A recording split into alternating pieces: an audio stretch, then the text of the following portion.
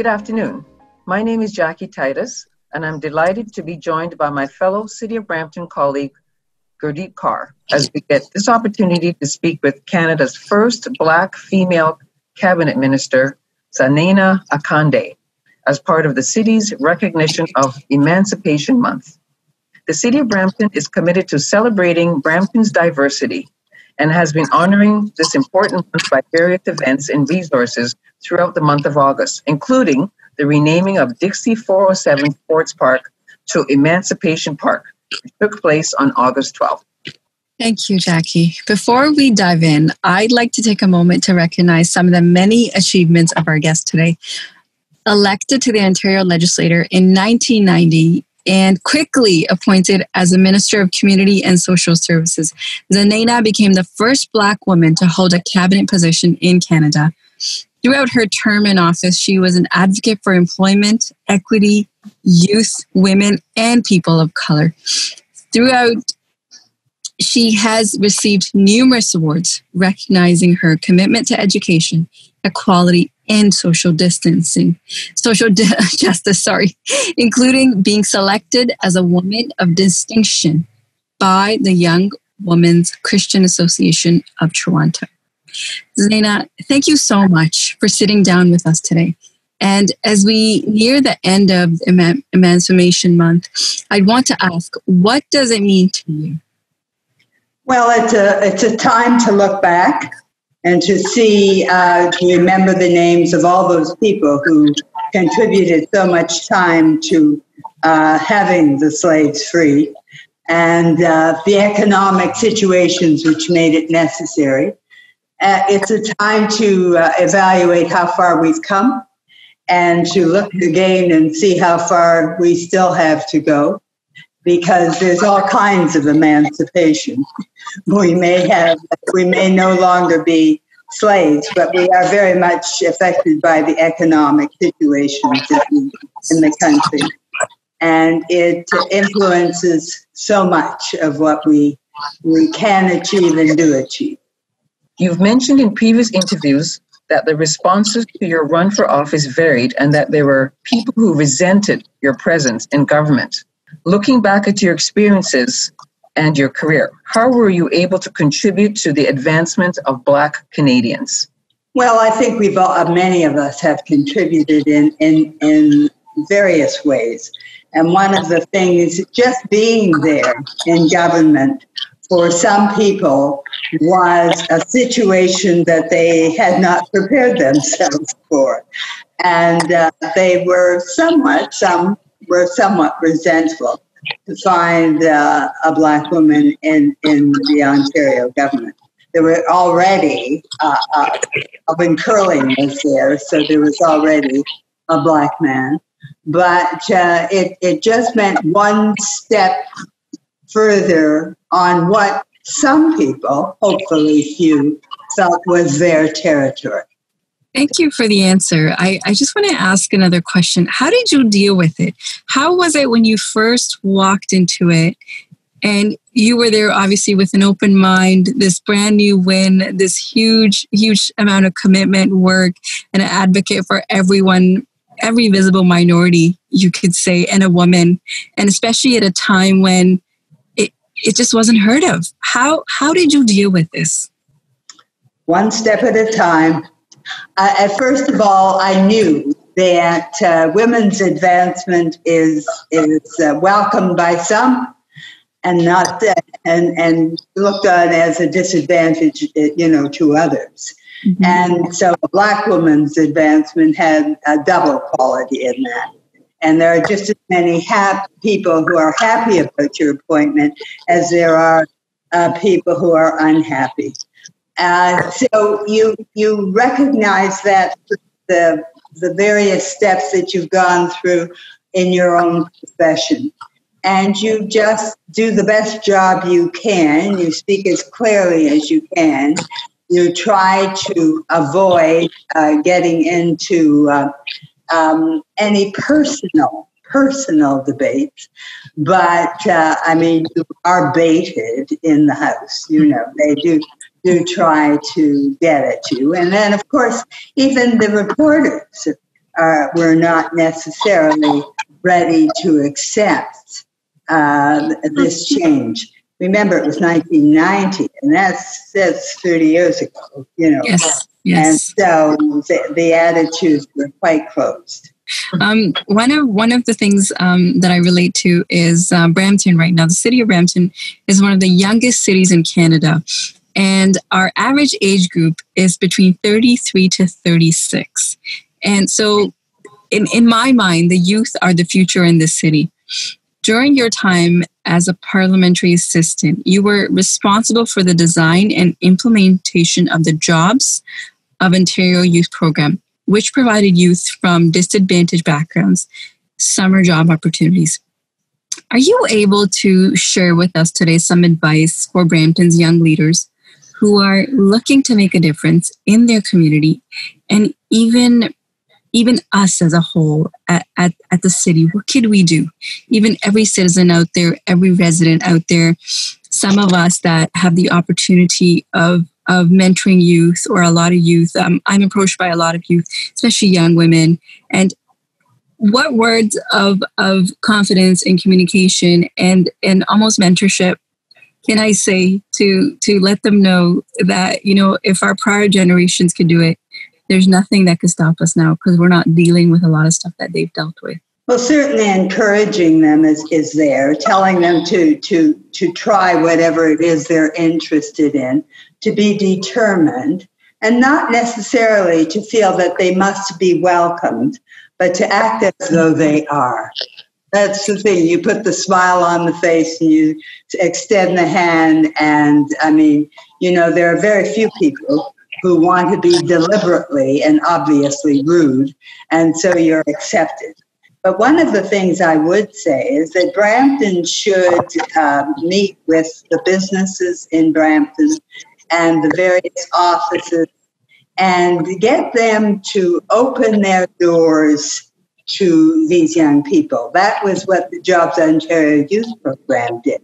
Hmm. They people who had uh, offices, businesses that had never before opened their doors to um, disadvantaged youth, to black youth, to youth from many, many different backgrounds, uh, opened their doors and um, these people were given an opportunity. I might tell you, even the civil service, the gentleman who was responsible for hiring summer help in the civil service told me that what he usually did was walk around to the various departments and, and, and ministries and offices and say, Do any of you have a, um, a son or a daughter about 18 years old or a neighbor that you know of that could come and work. And this is how they got their summer staff rather mm-hmm. than going through the youth employment programs. So that there are youth out there who never know what it's like to work in an office who have absolutely no idea what it's like to work in a government office, who never have those experiences, and so very often don't expect to move in that direction. I, I, I went to a school once, um, oh, a few years ago uh, in Black History Month, and the principal came out and said to me, You're the reason I'm here. And I looked at her and I thought, and from her name, I think she's Italian. And I said, uh, you know, what do you mean? And she said, well, I was going to quit school at 16, the summer I was 16. And this, I couldn't get a job, and this Jobs Ontario Youth Program came, and they sent me to a school to assist with summer, assist the teacher with summer school. And from there, they encouraged me, and I went through as a teacher. There are people who really found new experiences that they never thought existed. And that's what's important for the kids is come on, let's see what this is like. Some of them have no idea. I, I have to say, I, I 100% agree with you. If I could share my own personal story, even when I was growing up, um, so certain visible minority groups, English is a second language. My parents, um, when they came from India, they may be really well educated or have great backgrounds, but English was a second language. And sometimes when people are in their late 20s or early 20s, it's really hard learning another language, raising children, starting a family, putting food on the table, and affording a home and shoveling snow. So myself and my siblings, there's three of us, we really found our own things. I have this habit of trying everything. My mother says bullying your way through everything. so I would. And and I have to say, not every kid is designed that way to bully their way through life or or not take that first no as a no. And I had that habit of not taking that first no. Not everyone does that because I've seen them, my friends, some of my relatives, cousins, a lot of people I've I've been around and I often think to myself, if I was like that, how, how would life be today? Would I have been who I am?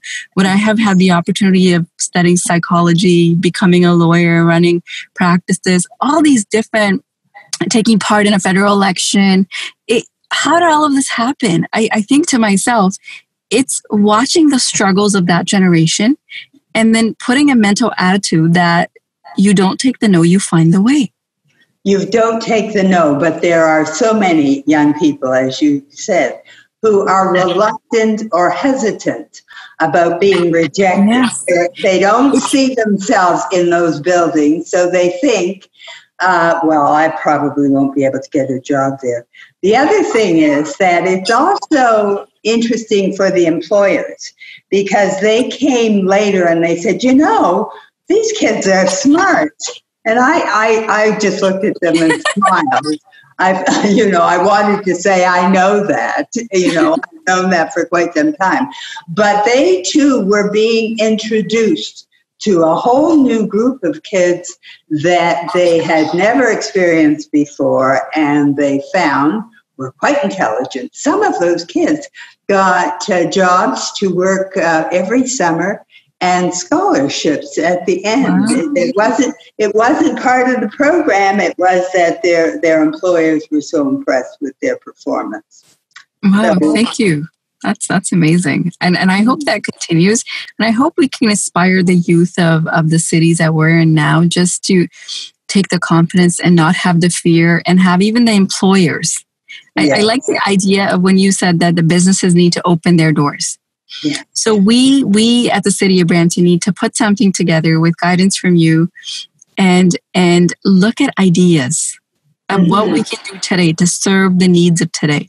Mm-hmm. And to introduce them to all the variety of things that are out there, uh, even many, many more that, that than uh, there were in 1990. And the other thing is that there are more of us in some of those spaces so we can speak from inside those businesses, inside those offices, and say, all right, it's time we widen the scope of who we invite in.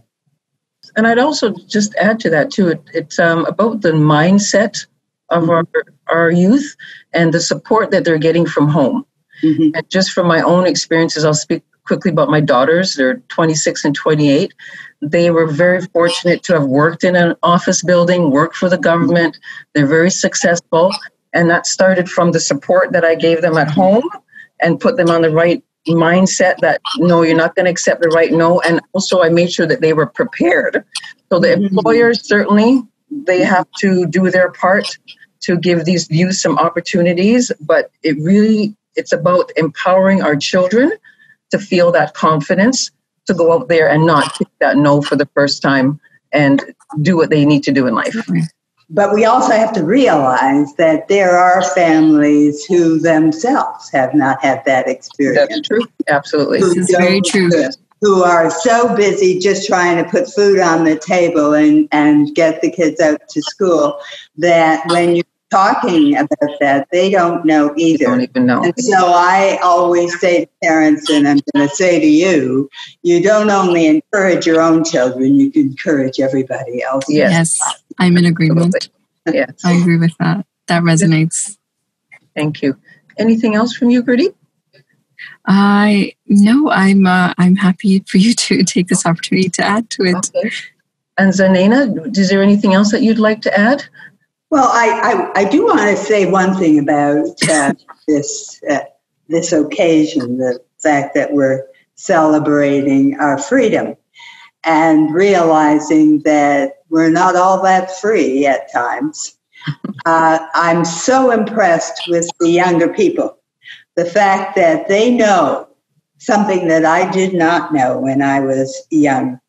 I thought, as my parents thought, that once we broke the doors open and a few of us moved forward, mm-hmm. that uh, the, the world would settle in acceptance of us and would uh, uh, make sure that we had equal opportunity. These young people today know that that's not true.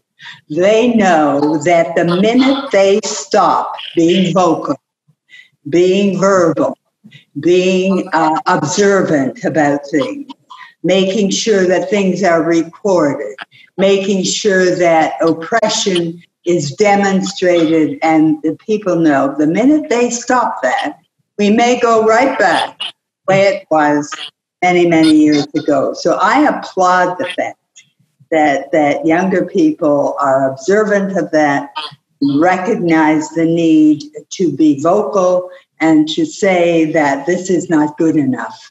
And I'm so excited about that because, you know, you always worry who's going to take over the fight after the rest of us are, are gone. And I'm, I feel quite content that they'll be able to do it. And not only that, that they are supported by many others who are not of our race or of our group, or they're still supported in that fight. And that's important. That's important. So I'd like to take this opportunity to thank you, Zanana, for having this candid conversation with us listening to the experience and advice of others who have been trailblazers for the Black community. Um, and it's important that we continue to learn, grow, and prov- improve our understanding of anti Black racism. Gurdeep, any closing remarks? Yes, thank you, Zanana. Uh, just as Jackie has mentioned, I resonate the exact same feelings. But at this time, I would also like to take the opportunity to thank the organizer of this whole entire event, Gwyneth Chapman, Senior Advisor of the Black, African, and Caribbean Social, Cultural, and Economic Empowerment and Anti Black Racism Unit. That's a mouthful, but I love saying it all because it covers everyone for connecting us with you as part of the leading, as part of leading the city's action plan on interdicting systemic racism anti Black racism in Brampton and uplifting the social, cultural, economic position of Brampton's Black community. And I also like to say, I've had so many conversations with Gwen. Every occasion is a blessing because it's not just Brampton, but it's beyond that. And when I first met her, I said, you know, this is our playground for now.